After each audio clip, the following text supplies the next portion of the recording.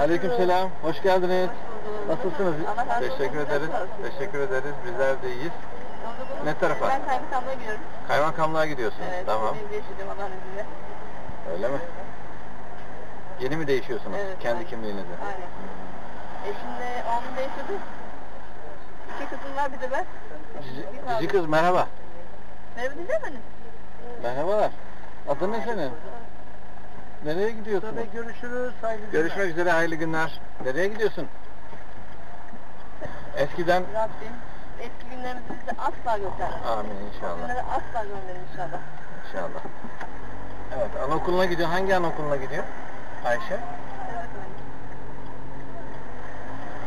Hangi anlamda?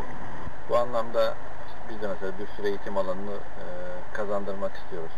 Yeni planlamalarla beraber İnşallah. eğitim alanları oluşturuyoruz. gittireysem okula gitmem. Biz ne yapacağız biliyor musun?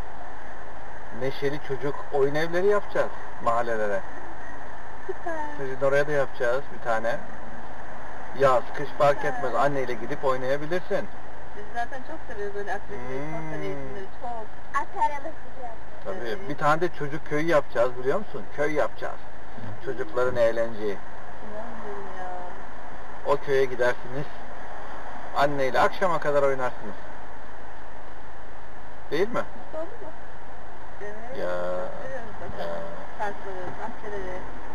Parklar yapacağız, bahçeler yapacağız. Hem de bahçe, etkinlik bahçeleri yapacağız. Öğretmeninizle beraber gideceksiniz. Orada domates ekeceksiniz, marul ekeceksiniz. Onları sonra büyüyünce koparıp yiyeceksiniz. İster misin? He? Ya, Harika, harika. bunların hepsi sizin için. Allah razı olsun. O da Biz de sinema salonları yapalım ki sinema seyretmeye gitsin Ayşe. Değil mi Ayşe? En sevdiğimiz yer. Ya, şimdi daha büyük bir salon yapıyoruz. Bir kültür merkezi yapıyoruz.